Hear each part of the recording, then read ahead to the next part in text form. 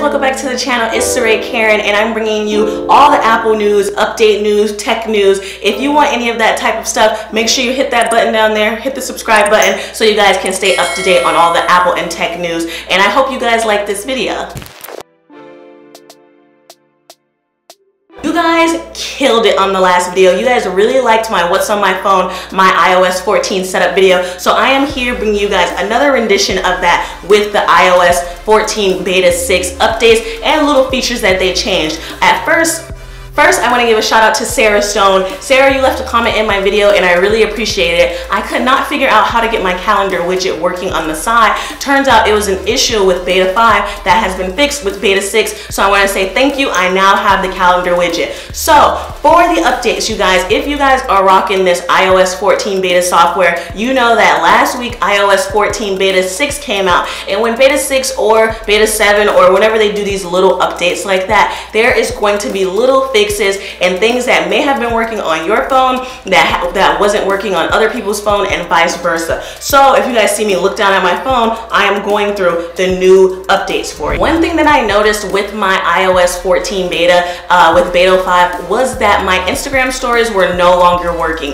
I will always go to my photos to try and upload an Instagram story, but it was black. Now I don't know if that was an issue with Instagram, but I felt like it worked before I downloaded the beta software and then after I downloaded the beta software, it no longer worked. So when I updated to beta 6, now it's working. So if any of you guys had an issue with that and now it's working, great because I needed to upload my stories to Instagram and I couldn't figure out why it was black and why it wasn't working. So for another feature that I want to show you guys, I really like has to do with your AirPods. If you have the AirPod Pros, Apple with the Beta 6 updates, they enable spatial audio. Spatial audio is basically a fancy word for surround sound. So now when watching something that supports spatial audio, you'll be able to hear it in surround sound in your AirPod Pro. Another really cool update, uh, it's a little menial update, but it's something that I definitely noticed if you go in your mail app and you notice when you open up one of your emails, you're gonna see that the sender is now highlighted in blue. So before it wasn't highlighted in blue and you can't, you couldn't really tell who the sender was.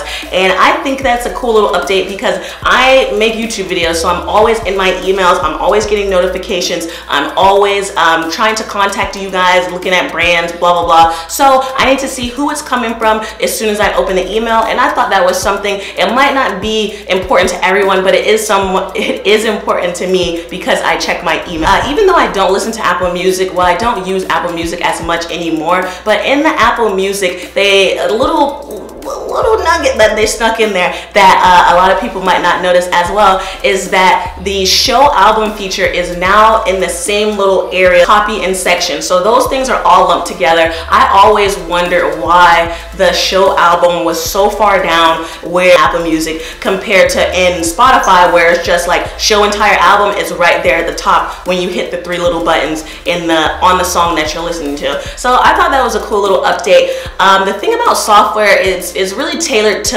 the person. These iOS 14 beta updates um, they may be important to me, but they're not as important to you guys. But everyone uses their software on their phone a little differently. So those little things with the Apple Music and the email, those are something that I noticed that if you guys didn't notice, I like to bring it out to you. Something else that was updated with the beta 6 that I noticed from the jump when I first downloaded the iOS 14 beta was that my control center, my widgets, well, not my widgets, my control center had a space and it was really annoying and I couldn't figure out how to fix it. And even now, with beta 6 being out, my control center still has that space and I'm not sure why. That's why I say that some of these updates, things that things that are on beta 5 and they get fixed in beta 6 might not be fixed for everyone. So I still have, if I can show you guys right now, I'll also put it up on the screen. I'll also show you guys right now. You guys see this little space right here? That's not supposed to be there, but apparently it was fixed with the beta 6, but for me, it is not fixed. So that's another thing. Hopefully, fingers crossed, it's fixed for you guys and it'll get fixed for me later on.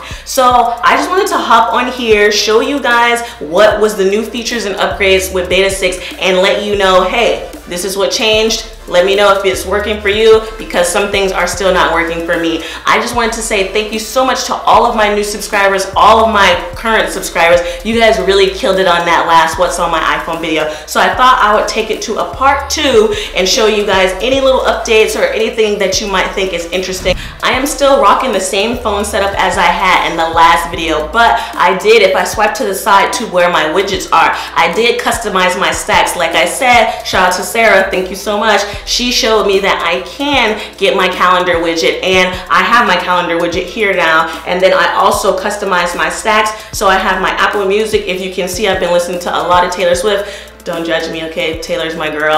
Um, and i also have my notes here so i customize my stacks and i like it a lot. Um, let me know if you guys have stacks how you guys customize yours if everything is working for you.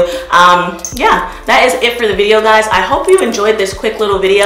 I just wanted to hop on here and show you guys some updated features with beta 6 and until the next video peace